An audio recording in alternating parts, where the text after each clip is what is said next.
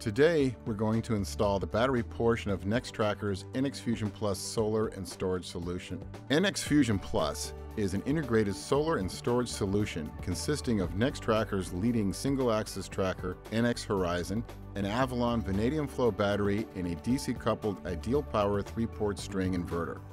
This is a simple product to install, requiring little more work than installing a typical string inverter.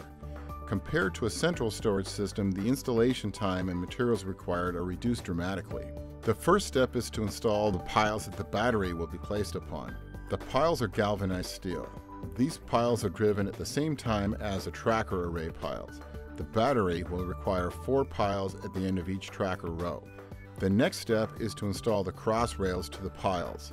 The cross rails are bolted to the piles using mating plates and blind fasteners known as huck bolts. Please note that the mating plate bolt holes are slotted. This permits easy leveling of the battery mounting rails. Now we're ready to install the battery. So you are aware, the battery is shipped wet. The battery is pre-commissioned integrated with the attached inverter.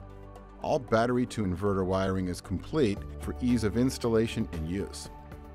Key to the Nextracker NX Fusion Plus storage system is that the assembly is installed as a single unit placed upon the completed mounting platform with a forklift, then bolted into place.